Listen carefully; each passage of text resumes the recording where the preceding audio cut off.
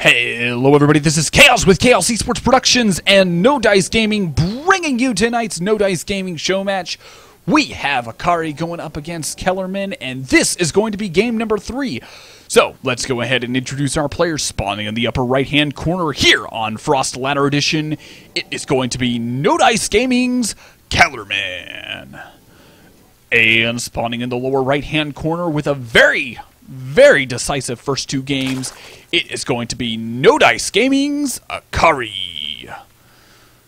So we've got a ZVP here on Frost Ladder Edition. Uh, Akari been doing pretty good. Uh, got some pretty decent builds going on. Last game was very, very passive. Very. Um, I'm going to drone up to 80 drones, and then I'm going to your. I'm going to let you get your three bases up, and then it's just going to be kind of back and forth, back and forth. Uh, but we did have some really, really good run bys. Uh, a lot of damage got done with those, and I think that's that's what ultimately won uh, Akari that last game. So we'll have to see whether or not he can continue on pulling it off. Now, uh, we are going to be seeing probably a little bit more of a macro game in this game as well, uh, as it is Frost Ladder Edition, which is a four-player spawning map. Um, unfortunately for Akari, he is not going to be able to scout his opponent until you know his overlord gets over there but he is going to happily go for that hatchery first just because hey why not four player map you know you got about a 50-50 shot of your opponent scout or eh more like a 75% shot of your opponent scouting it and actually we already have a pylon being planted down so it does look like we are going to be seeing uh, a cannon rush of some sort or maybe just trying to cause Akari to go ahead and pull a handful of drones, uh, as we do have the Nexus first going down. Uh, so just kind of a little fake out to uh, minimize a little bit of uh, drone drone mineral harvesting. So, anyways, we do have Kellerman going for that Nexus first, which is probably a little bit more favored on this map as well. But is going to be following up with the Forge to get his cannons down. And, ooh, very, very nice play coming out of Akari. He's going to actually go ahead and plant down his third base very, very quickly. Uh, and is basically going to... I'm pretty sure that third base was actually before the pool. So, definitely going to be going super macro mode here very shortly. Um, as once that pool gets done, he's going to get out three queens and just start injecting like a madman. So, It'll be interesting to see whether or not Kellerman actually scouts this and wh- whether or not he chooses to punish it at all. Because um, I think in his mind, his opponent's probably going for that relative. Ooh, uh, okay, so he's actually going to scout it. Um, so yeah, so we'll have to see whether or not he chooses to be uh, aggressive against it, or if he's just going to kind of play out normally. So a lot of times when I see a third base, the biggest thing that I do is I immediately start getting my plus one attack It's like ASAP.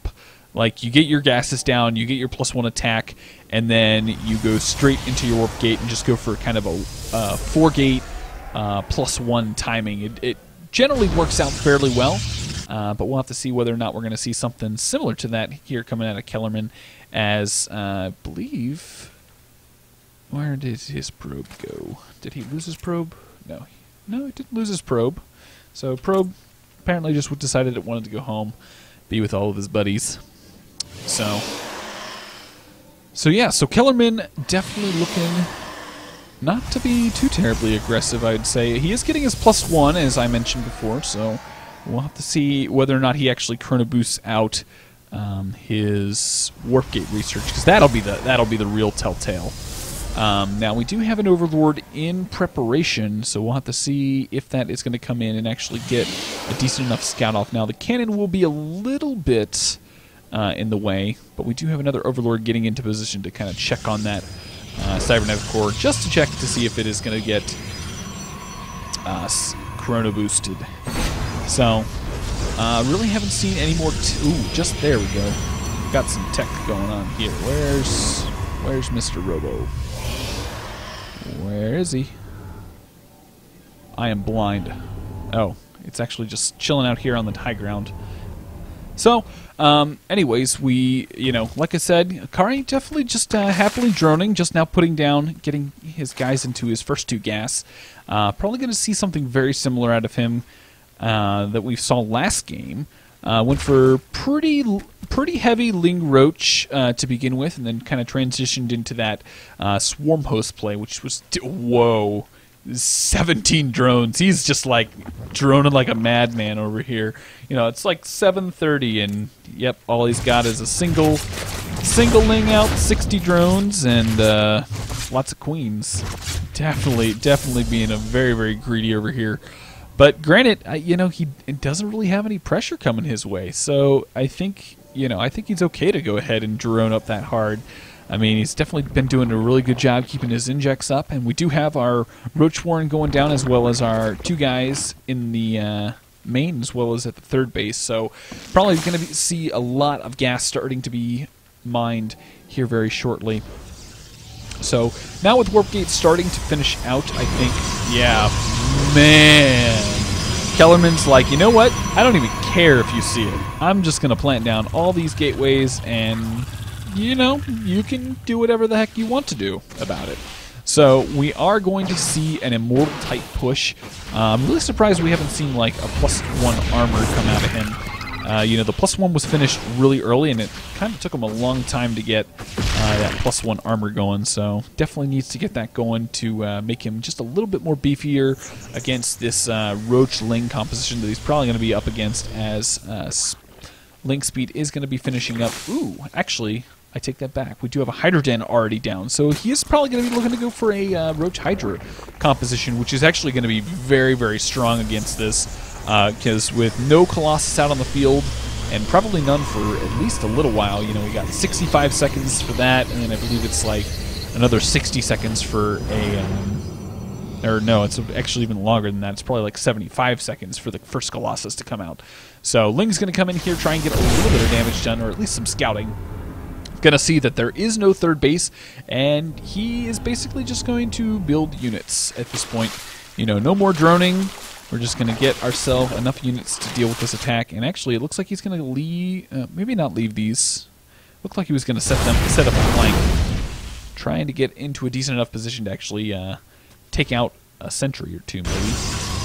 But Single Ling did get into position to take out the probe, and actually, uh, nice little harass there Granted, the third base is going to get planted down, and I think overall, um, Kellerman's trying to put himself into a position to uh, really get into the macro portion of the game. Ooh. So Spire is already on the way. So, you know, Akari pretty much knows everything. I mean, he saw that, he saw the robotics facility, or the uh, robotics bay go down. He knows Colossus are on the way, and he's like, you know what? I'm just going to go ahead and throw that Spire because I know I'm going to need it. Um, probably going to see a handful of corruptors come out for him. Maybe like three or four would be a, a good number, just to kind of have the corruptors to deal with the Colossus up front. So Akari definitely got some nice ling position. Uh, definitely going to be able to get some type of a counter or a flank if need be. Uh, doing a little bit of uh, exercises with his lings, sending them back and forth. So Kellerman. Wow. That was a lot of force fields for kind of no good reason.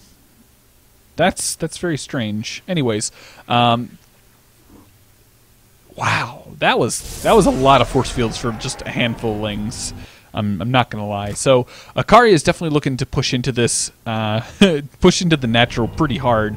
Um, he is. He doesn't ha quite have the unit composition that he wants. Still could use a, a handful of corruptors to help deal with this. Uh, a couple more force fields being baited out. Um, whoa, 11 corruptors on the way, so things are definitely looking pretty good for this.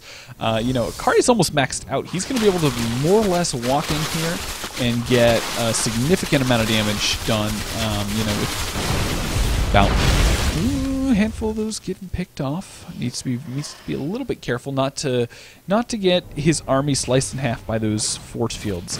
And at this point, I think he's just better off tr take, trying to take the engagement at the third.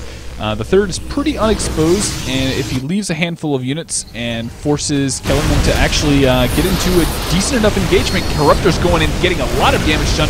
Both of the Colossus will fall down very, very shortly. And now, I think at this point, Akari really needs to back this army out. He's getting a lot of damage done, with this army up at the third, going to be able to snipe that third actually.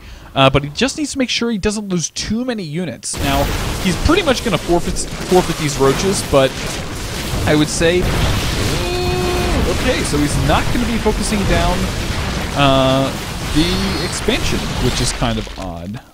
I really would have thought that he would have been best off going ahead and focusing down the expansion just because the expansion is really what sets the pace of whether or not the Protoss can build up his army very, very quickly or not. So we do have Infestation Pit now going down, so he is looking to go ahead probably and do that tech switch over to Swarm Host that we've seen in the last two games. Very interesting style.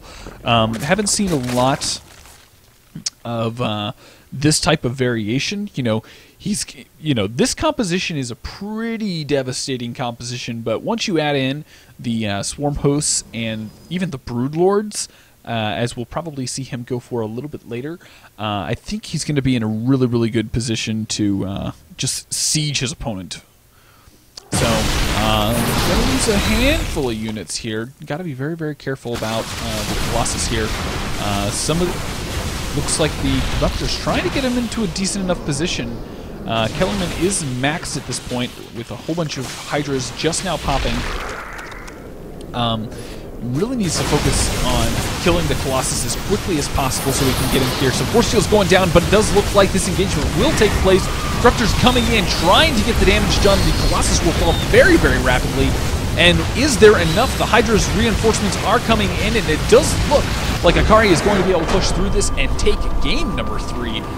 Very, very nice game from him, and this means we could have our last match upon us.